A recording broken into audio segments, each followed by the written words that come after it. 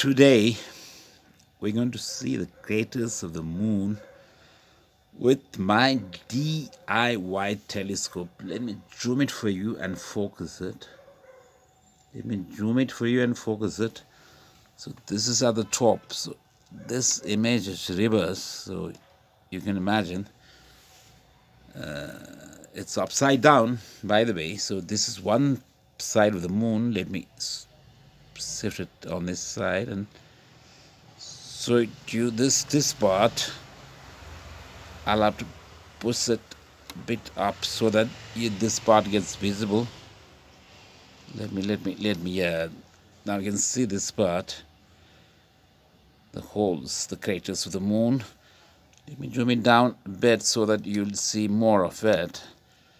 This side uh, this is below the telescope field so have to get it up. And almost focused. Let me check if I can refocus it.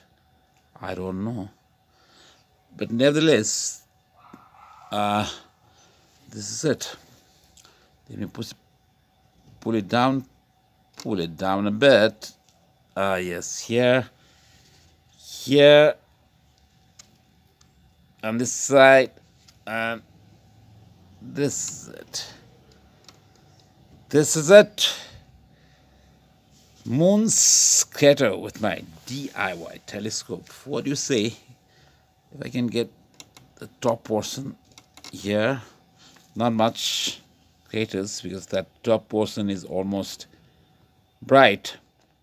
But whereas this part can have a bit of it. Let me check. Let me check. This is it.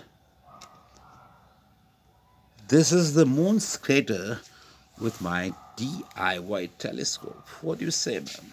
Lovely, amazing, amazing. I'll not be able to zoom it more than this. Love you all. Bye-bye.